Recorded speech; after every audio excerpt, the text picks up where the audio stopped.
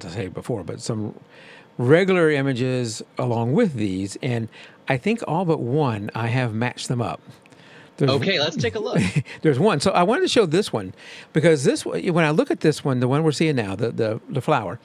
Um, you, you know, you got the beautiful blue in the middle, you got the green on the edges, you got the pink in the middle, you got some yellow there. It's just, it's just, you know, wonderful colors all over the place, and you have the speckles that are happening everywhere which you didn't add. That's just that's just what the, the, speckles are the pollen from the flower. So the okay. pollen is fluorescing, and you get to see those little speckles as the pollen has fallen off of the stamens, uh, or as a pollinator has rummaged around in the flower. Because this was uh, outside in my garden, and uh, I chose it specifically because it was almost fully bloomed, but not quite. So yeah. I brought it into my studio in complete darkness and um, and and set it up this way. So, so this is not that, that that pollen's not actually on the petals.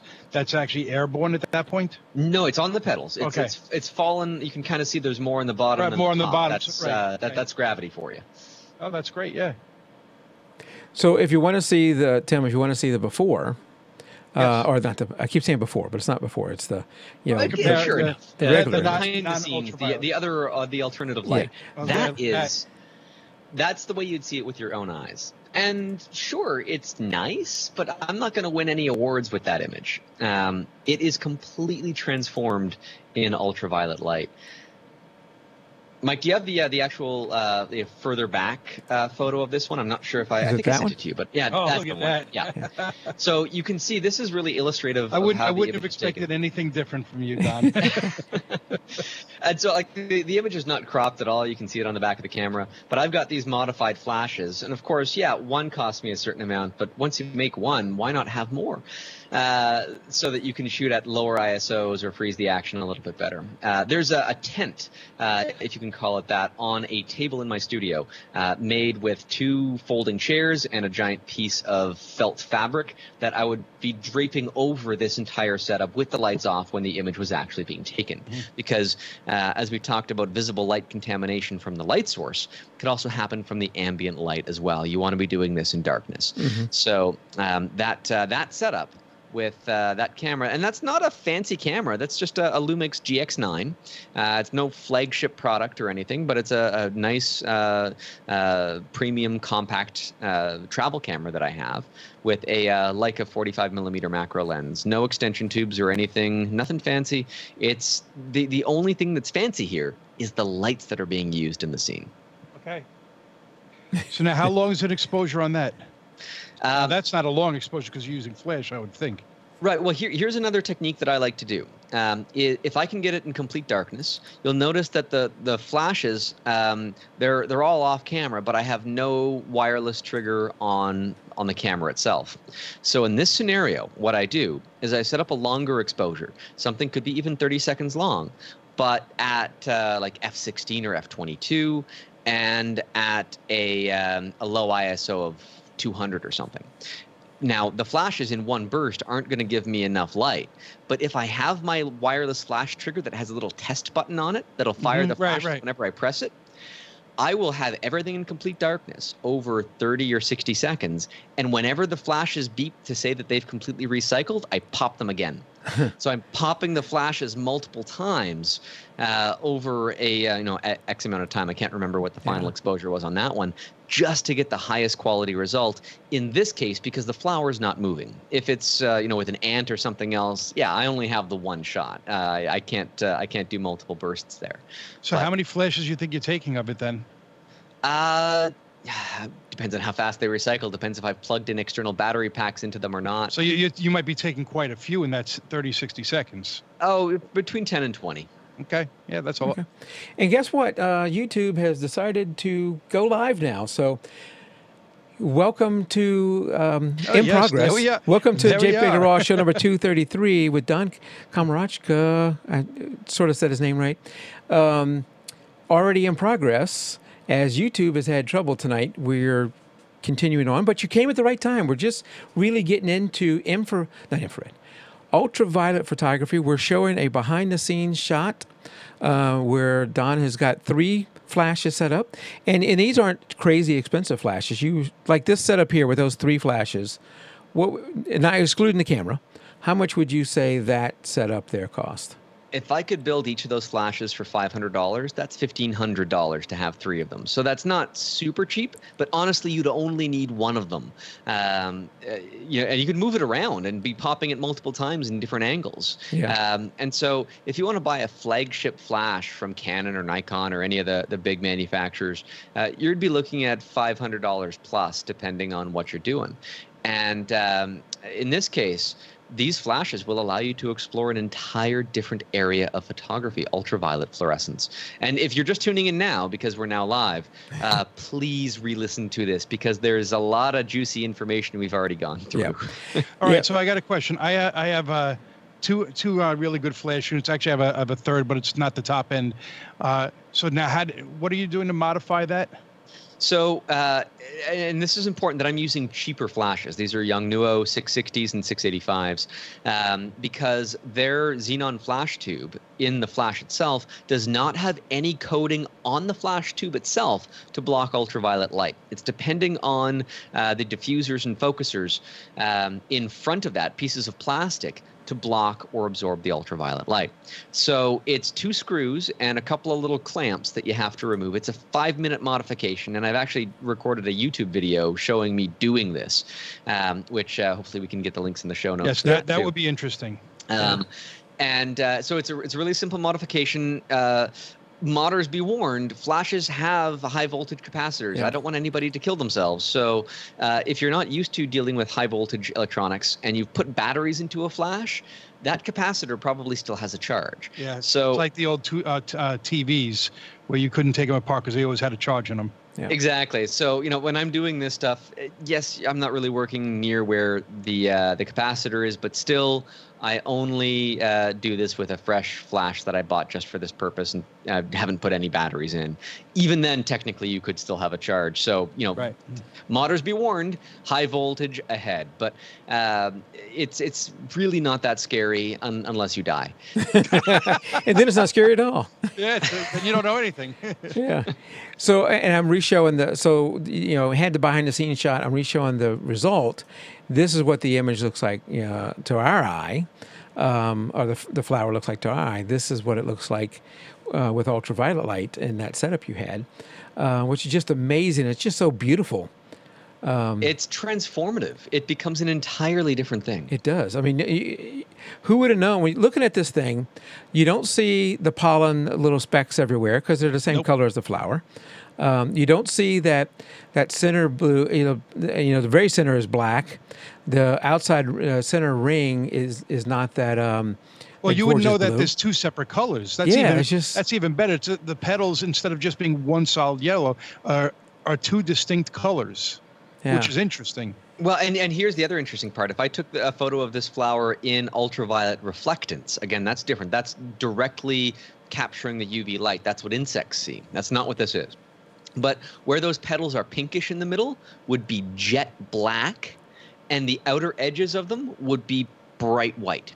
And that would be like a bullseye for an insect to dive right, into the middle of the right. flower. So, as a byproduct of whatever mechanism the flower is doing to do that, it fluoresces differently in those different regions. Ah, that's interesting. That's cool. And so now uh, we go back to the ant one, um, I believe. So Don gave me behind the scenes shots. Uh, I tried to match them up to what I thought they went to, and I think there's there's one I don't know. So you're gonna have to help me with that because I'm really interested to see what the end result was from this behind the scenes one. But this one I think I got. So you got the ant here, which if you look at it, it looks fairly normal except for the eyes of the ant. Um, and is this the the behind the scenes shot? Sort of. Sort Uh, there was another dandelion shot that uh, this is the behind the scenes of as well. But this illustrates a very important point that these flashes are almost on top of the subject. They are just about touching the flower. Uh, and we could regale people on the inverse square law all we want, but um, if you move them like a fraction of an inch closer at that distance, it will have a marked increase in the brightness of the uh, of the effect. So uh, sometimes I'll even have these flashes in the frame. So long as they're not interacting or touching the subject, I can edit them out. But you want those flashes to be as close as possible to the subject. Yep. Wow. Okay. Let's look at another behind um, our visible eye, which is, I believe, this one. Yeah, this is a uh, a yellow lady slipper. They just finished blooming in our garden right now. This, of course, was taken a few years ago, um, but it, it's a beautiful flower. Uh, maybe it could have been on a different colored background to be even nicer, but it doesn't really stand out. But looking at it, pay attention to the fact that the the main stem and leaves are green. And the variegated color on the other little twirly leaves is kind of a yellowish, uh, yellowish red color, and then the main flower itself is yellow. And then if we can see this in ultraviolet fluorescence, um, you'll see it transform again. So Look at the that. uh, Same one. Yeah. the exact same flower. Uh, Oh my God. Yeah, because watch, the I'll go back the and forth. The spider wasn't invisible. Boom. Okay, so the the the, spi- the, the spider was uh, uh, was from uh, my my main ultraviolet attempt, and then when I took the behind the scenes photograph, I already had let Right. the spider go. I put him back outside. Okay. Um, but the all, all of the things that were green or close to green, they're fluorescing a deep red color. And uh, you get blues and yellows within that. The spider itself would have normally been mostly black, uh, but its eyes are glowing just like that ant was. And there's Yeah. something about insect eyes that make them glow blue in ultraviolet light that I haven't figured out yet. But it does make it mesmerizing. Maybe it's it Oh, that- goes that's with just what amazing. Yeah, with what they can see, with the light that they see, that's also causing the way they look. I don't know. All right, so now I have a, I have one more question then, because you're you're talking you can't have any light bleed. So when you take these pictures, to, is every all the lights in your studio off then for these pictures? So how do you see what you're doing? Or using remotes? But now you said you're hitting the test firing button on the flash. So In, how, how's in that this working? case, this is at a higher ISO um, with the, uh, the the camera uh, at, triggering the flash for the exposure. So this is one uh, one shot of the flashes. Right, that's be- right. Because you have you have the spider, you can't count on him staying still. Well, exactly, and so this might be at ISO 3200 versus ISO 100 or 200, uh, and and that's fine. I, so long as I can get the shot, uh, I'm I'm happy with it. Uh, but um, in this case, in order to see what's going on, uh, I will do a test shot. I will take an image with the uh, the wireless flash transmitter off. Uh, and just see what the image looks like. If it's completely jet black, I know I don't have any visible light that's going to contaminate the scene. So I can have a dim amount of light in the image uh, or in the scene uh, around me so that I can see where the spider is and I know when to press the button uh, rather than having absolutely nothing at play. So, um, We'll go to the next one. yeah. So I messed uh, that up. Some some flowers uh, some families and classes of flowers will work better than others. I found that anything in the buttercup family uh, will work really nicely. Uh, but uh, in this case this is a succulent and, and succulents and cacti uh, they more often than not will give you a, a really fun fluorescence response. So the image we're looking at right now is visible light. This was uh, a, a shot that i had taken after the uh, the ultraviolet image. And the uv one for this one it again, it's got that science fiction feel to it if we can flip to that because Yep. it just Isn't that crazy? You wouldn't even know it's the same image if I wouldn't do it like this, where you can actually. Yeah. That, Yeah. That's amazing. so uh, you know th- this is I, I love macro photography i love flower and insect photography but um, i also love when i can make it feel even further from the world that, uh, that that Mhm. we all live in and this is a great way to do that especially because i'm not faking anything here i mean No. yeah of course uh, like with any image you're going to set the white balance where you want it to be and you're going to uh, you know clean up little specks and, and, and splotches here and there Sure, you know if there's sure. a blemish on a flower yeah I, i'm guilty. I'll clean a clean a spot off the flower. But what you're seeing in terms of color and glowing and everything else, that's all real. Wow. All right, Yeah. let, let's go to the one I have no idea what the the other side is. Um, so this is the behind the scenes or the uh, before. Okay, so I, if I describe this one to you, Mike, you'll probably get some idea of what this is. Okay. This is a small little stone. Um, it is a mineral called cerussite. Uh, it's a lead ore derivative, but it happens to glow under ultraviolet light. A lot of minerals do, um, and some will glow blues and greens. Actually, some vibrant green ones I have. I haven't figured out what to do with yet compositionally, but Hmm. this one glows yellow at about the color to the sun. And so, what I figured out for an image is I thought I would try to create a scene that depicts a narrative as if the sun has gone out. And flowers, as you know, will move around to uh, uh, to face the sun. Plants will do that too, and um, and so I've got a bunch of little third hand tools. You can see some alligator clips and some little tweezer appendages. They're holding flowers in line, pointing towards this thing as if they're growing in towards this stone that is the last light source in the universe type of thing. I gotta tell you, this doesn't look like a stone to me. It looks like a, a flat, a little moss or something. I don't know. Uh, no, it- no the, you're seeing moss. Okay. But right in the very, very center, uh, or uh, actually not in the center, it's a little bit further back. Okay. There is a tiny pale dot. Okay, it's I see off it. Yeah. color from the moss. That is the stone, and you have tiny little Irish moss flowers going in around that. So if, you know the image that we had in the initial rotation. Yeah. So so again, Don gave me before and afters, and he said if you need help match them up, just let me know. And I think, and I can do it. Um, so th- and I think I got most of them right, but this one I'm going to guess, and this is a process of elimination too. Is it uh, this image? That's exactly the one. Okay. Yeah. Look So at you that. have this stone that is glowing amid the moss with these flowers that are reaching in towards it as if, you know, like people sitting around a campfire. right, for right, right, a campfire.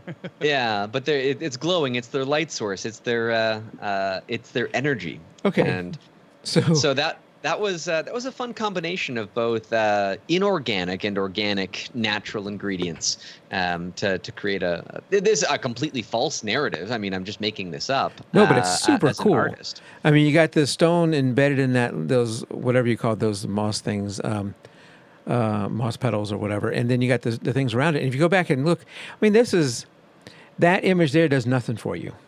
no. now, how many flash are around that? Uh, three, I think, in that one. Okay. Three Still flash, three. and um, the luminescence is happening because of the ultraviolet, right? Exactly. So Yeah. there's no visible light in this image aside from uh, the ultraviolet light that hits that stone and then fluoresces back into the visible spectrum that the camera can see. Uh, and there's a little bit of fluorescence happening in the flowers. You can see their pollen is a little bit brighter. The moss underneath isn't really fluorescing at all. It's just glowing because of the light of the stone. And most of the flowers are the same way. Um, so this was an attempt to use the visible light induced from ultraviolet to actually not just send that back to the camera, but to bounce off of the neighboring subjects and illuminate the scene. Yeah, it's gorgeous. It's gorgeous. Yeah, th- this was almost going to be. Uh, this was a cover option for my new book. I I opted with something else. This one meant a lot to me, but I would have to describe it to everybody yeah. before it made sense. So we went with something Right, right. else. Yeah, no, I get that, but it is a gorgeous photo. I can see where you would be tempted to put it on the cover, but um, the the one you have on the cover is all the little water droplets, right? Yeah, so it's uh, uh, uh, an image I call Essence of Reverie, which has a, a wildflower seed emerging from the surface of a pool of water with water droplets all covering it, and each one of them has an image of a flower inside of it. So, Yeah, which is- um, An incredible image. yeah. And the book will show you how to make all of that stuff too. Okay. Yeah, that's Well, good. We'll You, we'll will look notice you're up again. to 1119 because I bought one. Oh, why? Thank you. I appreciate I that. see that live. Yeah, when we started the show, it was eleven eighteen, and now Tim's eleven nineteen. So Yes. Tim, I can be first. I You- can't be number one. No, you I can't, be number- last because I'm sure you know with 32 days left, there's plenty more that are going to come in. Yes. But uh, you know, I you know you can't be first. That was already taken. yes. Thank you, Mike. Yeah, no problem. Um, and, and so I don't know. Did I get a behind the scenes on this one?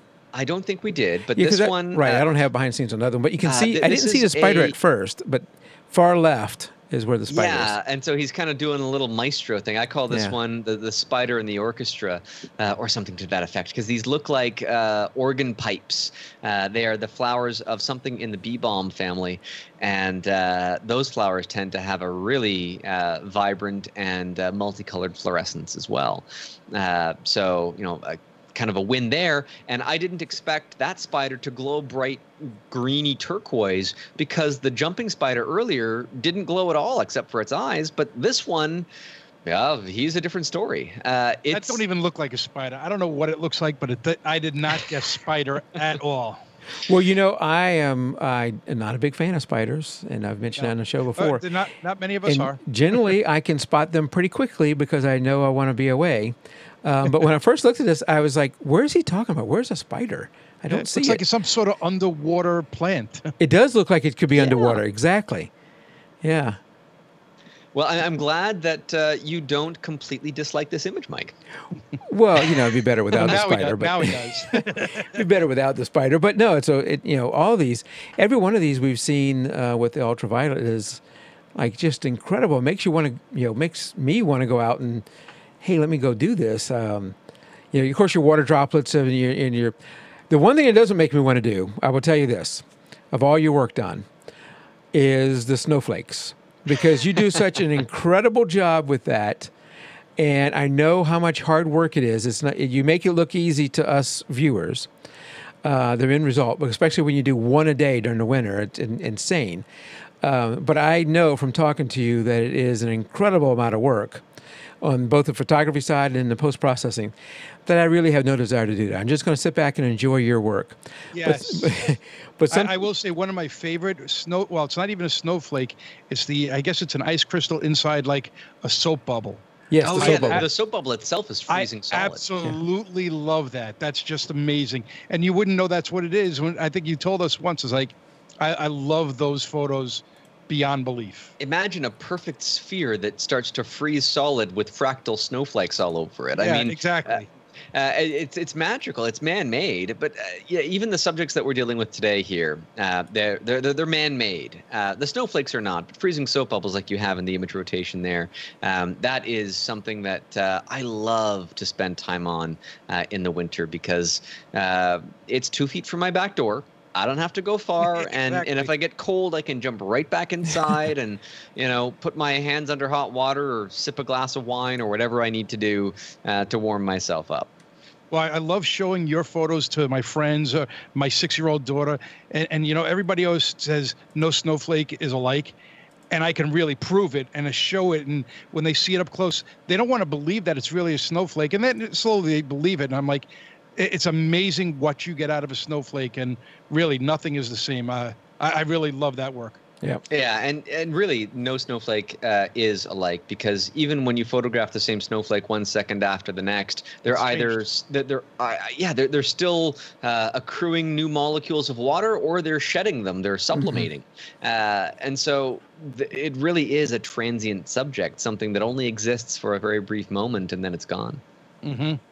Okay, okay. I know you've talked told us this more than once, but I wanted to talk about it again. So, the the the flash. If I get a flash, and I get one of these, uh, the Yagano or Yugano, however you, however you say them, and I know I know lots of photographers who had them, who have them. Um, so, any particular one or any one of those? I believe the 660s have the longest uh, or, or the highest guide number. Okay. And I chose that just on a, a guide number is not the total flash output in watt seconds, and they don't publish that number. Um, that would be the one you'd go for. But the higher the guide number, the further the light will go. And so I'm just using that as a proxy for it to say that that's probably going to be the brightest one. And you want maximum output from these uh, from these flashes. Um, the filters that I put on the front, there's a combination of two of them. Either of them Now, work well, but not need to be perfectly. Uh, one is a, a Hoya U340 filter. And uh, you'll find them on eBay. You won't find them on uh, B&H or other uh, larger U.S. manufacturers because I don't think they ever marketed them in the U.S. It's kind of a niche product. But the Hoya U340 filter is one that will block visible light but let ultraviolet light pass through. Problem is, it doesn't do it perfectly.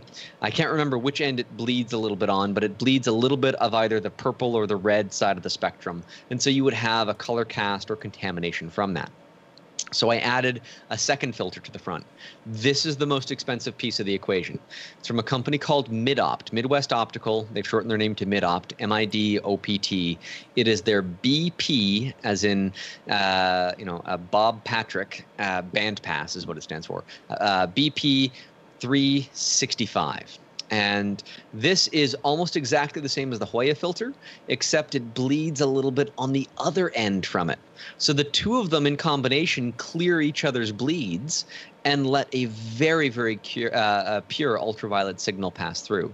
That filter, you will have to talk to a distributor from the company. If you go to their website and you click on distributors, you'll, you'll find one close to you. And that's uh, probably a few hundred dollars for that filter. That is by far the most expensive piece of the puzzle. Put those on the front of it, and away you go.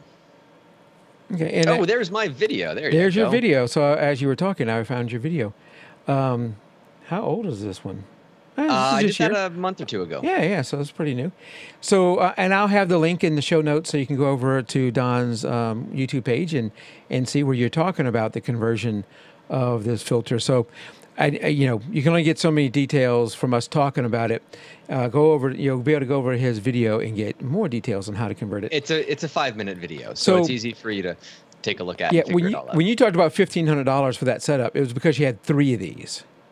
Yeah, exactly. Uh, I actually have five of them now. Because that's what I do. yeah. Um, but you know, for one, so I guess I can divide it by three, and it's for one setup, I'm going to be in the five hundred dollar range. But to really do this, I need to be able to en- envelop that subject into this light.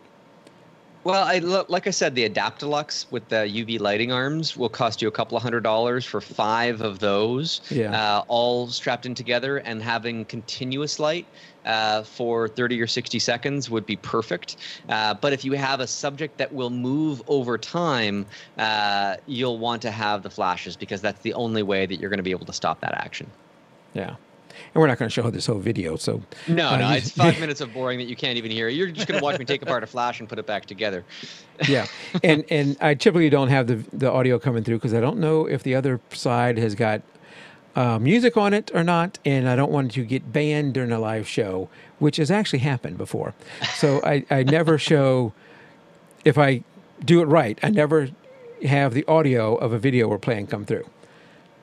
Right. and so, yeah, the, anyway. the, hardest part about modifying those flashes, if you just saw me on the video, is getting the little pla- rubber circle things off the side of the flash because they're glued in place. You kind of got to wedge something in there. But once you got those out, there's two little clamps on either side. Pop those out. The flash comes apart. You put it back together. Bob's your uncle.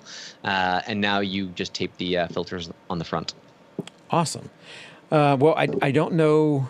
I, it's on my list of things I want to do, Don. I don't know when I'm going to get around to it to, to, to do that. But I actually need new flashes. I dropped and broke one of mine, and I needed to get a new flash. So who knows? Well, the, the Yongnuo flashes themselves, uh, I've used the ring flashes for macro photography. Uh, what is it? The YN14EX um, is their ring flash. And it's uh, it's an identical clone to Canon's ring flash. In fact, it's better in some ways, and it's one fifth the price. Um, so not just for this ultraviolet stuff. I've, eh, you know what? If the flash dies, I've had to replace a flash bulb on my Canon 580 EX2, and uh, that cost me $250 on a flash that I paid $500 for. Yeah. Uh, where the young Yongnuo equivalent would have been far less than the cost to repair the Canon one and would have worked just the same, if not better. So, Very good. Well, um, uh, we're heading into the, the final part of the show uh, here, and I want to go back over again. If you want to support Don on his macro book he's going to be coming up with, uh, you can head over to his website, which is donkom, don, K-O-M dot com or dot ca, either one, and he'll have a link there, and we'll have it in the show notes too, so where you can go over to Kickstarter and you can um, become a backer for his his book that he's going to be putting out.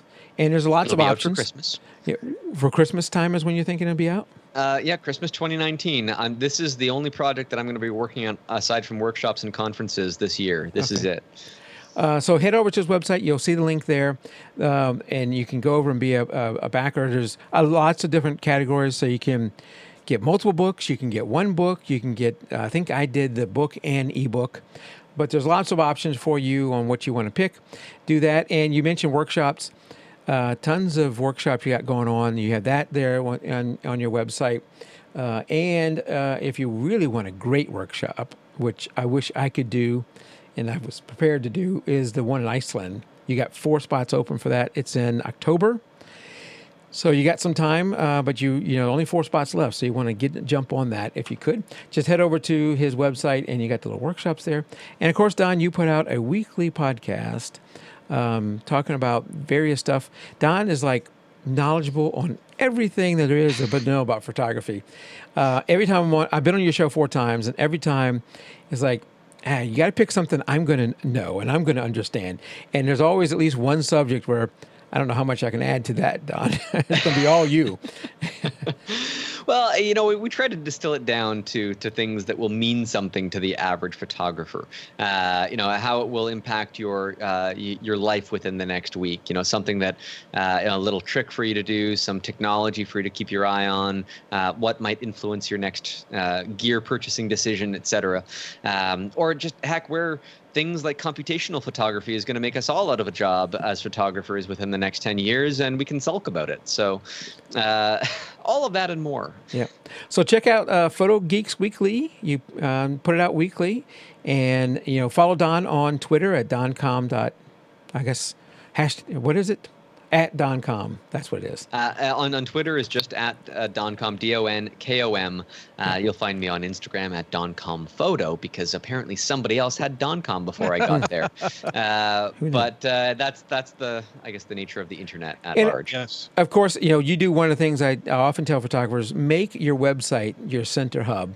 So you know he, you know you own and host your your website here, and you know you can go over there and all the I things you have to update about. the social media links. There's like a there's still a Google Plus icon on there, Yeah. and that no longer works. But But you have the Facebook uh, link here. You have the Twitter link here. So if you can't remember where did Mike say to go, or what what was that link again?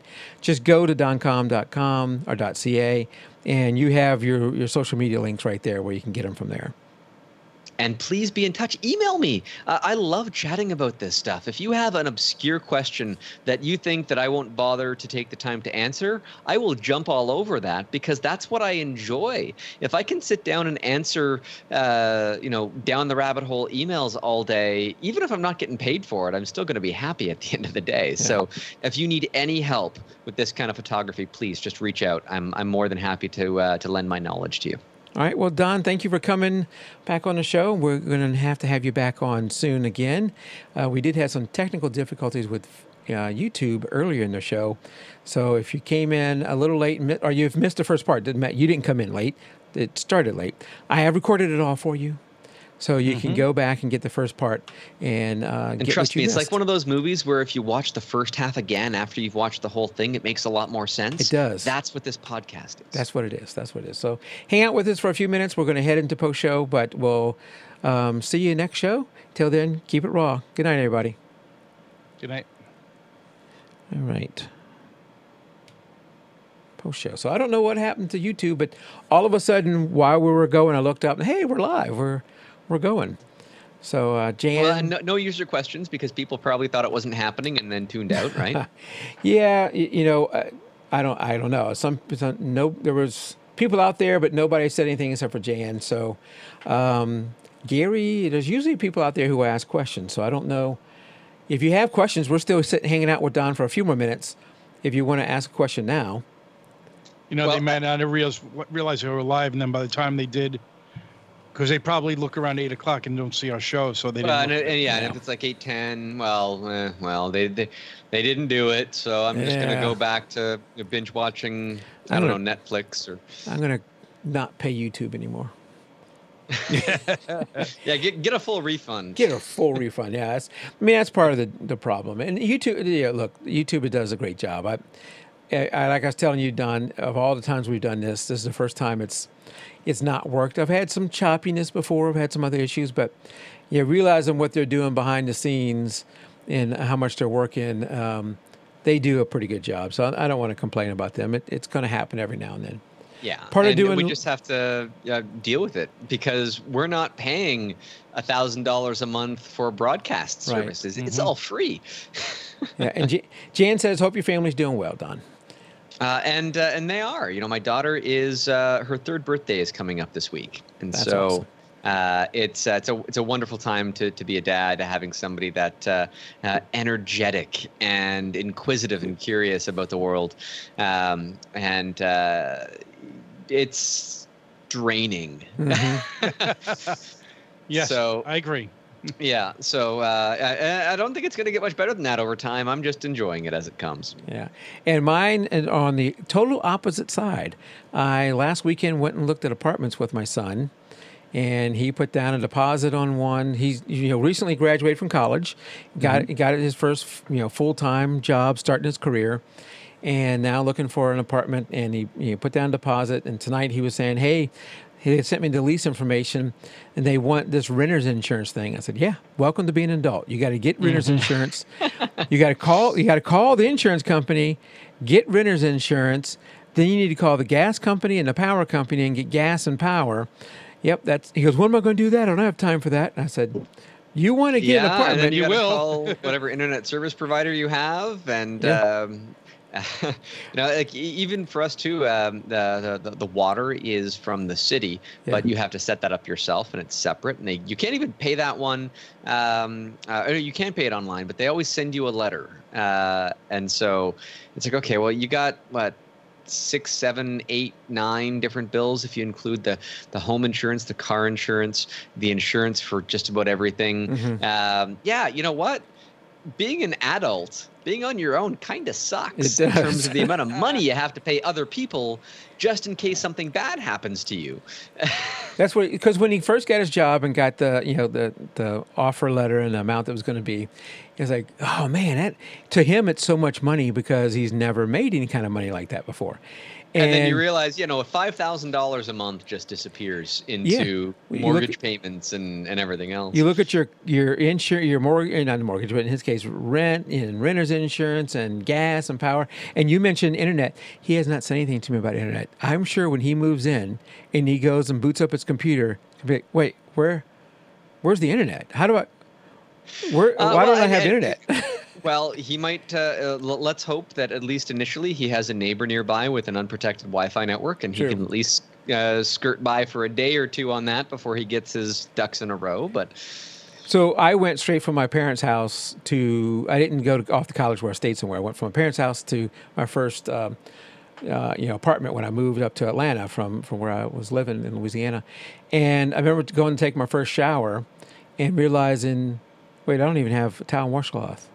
Wait, there- there- there's no shower curtain here. Who who dry rents an with apartment? toilet paper and Yeah. uh, Who and rents an apartment with no shower curtain? Well, apparently everybody.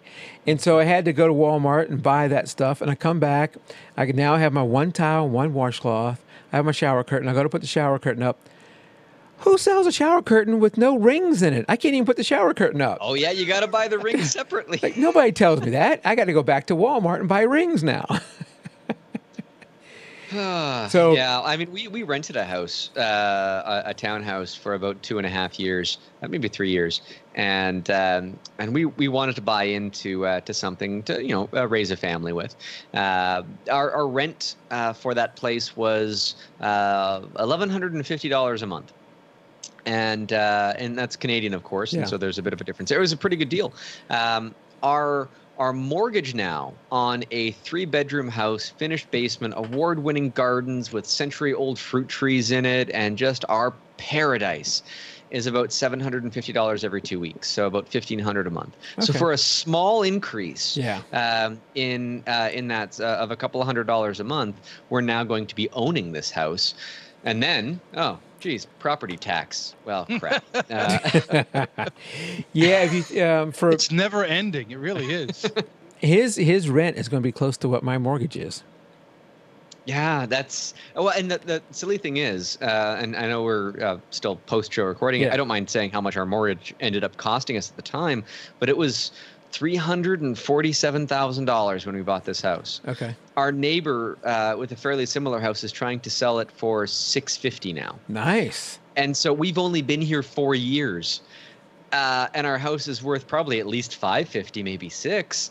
Nice. Um, uh, if, if you're That's looking nice at a appreciation. uh, that's, a, that's a very nice appreciation, except we never want to sell this house. Yeah. I- Right, I'll right, die that's in this house. People have said that. So- oh, you sell your house, you can make this much money. It's like, well, but then I have to move somewhere. Yeah. It's gonna cost Exactly. this Uh, and, and here's the problem. I would like my house to be worth $1 because I would pay property insurance Right. on $1. Yeah. Uh, I, I or, or not property insurance, uh, Property uh, tax. uh, property tax, Yeah. because it's based on the value of the home. So, Well, I remember, you know, I'm wearing my Vancouver shirt, which is on the opposite side of Canada from you. Uh, but when I was in Vancouver, I remember uh, they were telling us about how the, the real estate market in Vancouver had just exploded, and people were buying, you know, houses and condos and all this kind of stuff, and not even living there. They're just buying it to hold it Oh, yeah. because the market was going up so much. Um, you know, the maybe you guys are going through just a real estate boom up there. I don't know. Well, we, we did a few years ago, and it's kind of leveled it out, uh, uh, leveled itself out now. But um, you know, we're transforming our property into something that I don't think any other people would really want to buy, uh, because we're planting tons of uh, manageable, like dwarf-style trees that produce fruit. Uh, nice. and very beautiful blossoms, you know, and, and the insects and everything is well naturalizing it to be perfect for me as a photographer running photographic workshops and everything else. But we're putting trees in the ground that uh, will produce exotic fruits uh, that you can't buy at the grocery store that are completely edible, very delicious, but they're just uncommon. Um, Mike, have you ever heard of a shipova? I've not. No. A shipova is a cross between a mountain ash, which is a tree that produces bright orange berries that last through, through the wintertime. They're largely inedible. Some people claim you can make wine with them, but no. Uh, uh, and uh, a cross between that and a pear tree, which I have no idea how that's possible. But it creates these dainty little tiny pears that have a bit of a unique flavor to them and have no seeds or core inside. You just eat the whole thing, uh, just eat it whole. Wouldn't And- that it- be fun? Yeah, and it tastes okay. Uh, from every uh, uh, uh, person that I saw online that has one of these trees, it tastes fine. So I put one in the ground, but it can take up to eight years to bear fruit. So we're only year three right now. It'll Yeah, be that's a while. awesome. When I grew up in South Louisiana, uh, my I had a lot of family in the same little area, and I remember my grandparents had like a Japanese plum tree, which I've never seen that again. Uh, since we left there, which were just fantastic. Those things were just fantastic. There was a big mulberry tree, which I've never seen again since there. That we as a kid, a white mulberry in the ground this year, and it's going to be perfect. I would just go and sit in that tree and eat mulberries until I was sick, literally sick. Those mulberries. and you come home just and so your hands would be stained. they would be stained, my face would be stained, and I'd be sick. Like, where were you, Mike? I don't know. Mulberry tree. uh, and and and other things that we had there, I can't remember. That was so awesome, and it's still, you know, now many many many years later, it's still in my head. Uh, for you and your family and your daughter to have, to have those exotic fruits, that is going to be a lifetime of memories and and a lot of payback. Even something as simple as, as apples. You can get uh, red fleshed apples, where Yeah. the inside, when you bite into it, instead of it being white, it's red inside. Oh, that's Uh, cool. And they're, they're more nutritious because they, they say that the the most nu- nutritious part of the apple is the, the peeling. And if whatever makes that red is actually in the flesh as well, then you've got more nutrients there. But imagine selling that at a supermarket and you just get everybody returning the apples. There's something wrong with this one. Yeah, It's red this inside. one's bad. Yeah. Got some kind of rash. Yeah, or uh, a medlar, which I don't mean to uh, opine on fruit too much, but uh, a medlar was the fruit that Romeo and Juliet originally shared uh, in the Shakespeare play, but it's been often rewritten to be an apple or something else. Um, it's a tiny little, uh, it's, I don't know, I mean, smaller than a kiwi kind of fruit Okay. size. Um, and it looks incredibly ugly. In fact, the French word for it is uh, cul de chien. Uh, which is uh, the dog's behind, to put it politely and it does look like that. Yeah. Um, and when the fall comes and the leaves fall off the trees, this fruit is still inedible. Uh, it's so astringent that it's just garbage. You have to wait until that fruit rots. A technical term is bletting, uh, for it to kind of turn into an applesauce-like texture. And then apparently, it's delicious. Hmm. I have no idea. It's going to produce fruit the first time this year. But my wife, growing up in Bulgaria, in rural Bulgaria, her uh, her grandparents in their village had a medlar tree in their backyard. And every winter, in early winter, this was a delicacy, a little treat. You'd only get it once. You wouldn't get many of them, and it was a, a nice, fond memory. Hmm. So, why not put that tree in the ground? What Yeah. the tree costs? What thirty bucks? Sure, uh, it's going to take a couple of years for it to grow from a twig into something useful, but all we got is time, right? Yeah, that's awesome. Yeah, I can't wait to hear when some of these start bearing fruit how they work out for you. And I have a, I have a suspicion that medlar flowers will fluoresce like crazy, and I'm going to be able to put that to the test next week. So, oh, good. so maybe I could make all of these purchases business expenses because hey, the flowers might glow, and I can take pictures and. I, and, and, and the fruit and all that you can take pictures of and do workshops on. I don't see any reason why you couldn't. Exactly, Yeah. and the cost is minimal enough. And and by the way, guys, I have seen a few more uh, contributions to the book come through. I don't know if it's from people that have been listening, uh, but if they are still listening, I say thank you very much. I, I appreciate it. Yep. Yep. Thank you guys. So speaking of that, uh, I've held Don long enough. Um, I generally do this about an hour, so we're about 20 minutes over time. Don, thanks for hanging out with us, and good luck. And I hope that you keep getting more. I yeah, see the Yes. number has gone up since we started talking. Um, yeah, I don't know if it's you guys. If you haven't gone out there, I'll put the show notes up, but just go over to donkom.com or .ca and you'll have the links there so you can go over and support Don and get not just support him, but he's he's not just asking for money, he's going to give you something in return. Well, yeah, you're getting a book, Yeah. and uh, and and right now, by, by the way, just if anybody is still listening, the breakdown of the numbers, like we've made over eighty thousand dollars Canadian at this point. It's just remarkable. Um, so Kickstarter gets five percent. And then there's three to five percent that goes to processing fees for credit cards and what have Mhm. you. So that's up to ten percent that just gets shaved off the top. About thirty percent of the total as well. That's logistics. That's me taking your money to ship it to you. So that's money in and money out. I don't actually really get to do anything with that. It's just to get you the book. And the rest of it, 100% of it right now, is going into the printing costs of the book to uh, hopefully print up to 5,000 copies. So uh, it seems like I'm just getting a payday of $80,000. I'm Yeah, not actually getting a penny of it. Yeah. Um, It doesn't what work I'm that way. Well, what I'm paying myself with is the copies of the book that are left over uh, that I will then be able to sell at a profit. Uh, basically, my break-even point has already arrived by the time the, uh, uh, the the the books are being sent out to you, and so the rest of it is just gravy for me, Good, and and that's what I'd make my money on. So right now, uh, there is a heck of a lot of work that I need to do between now and then. And uh, and I appreciate your support, and you'll have a wonderful book at the end of the process. I look forward Looking to receiving it. it. Yes. Uh, All right. Thank you, Don. Thank you, Tim, for coming out, and uh, Jan, and anybody else who got to see part of the live show. Again, um, be looking for the recorded show, which we have the whole thing. But thank you guys for coming. I'm going to stop the stream, and we'll see you next time. All right, Right. take care.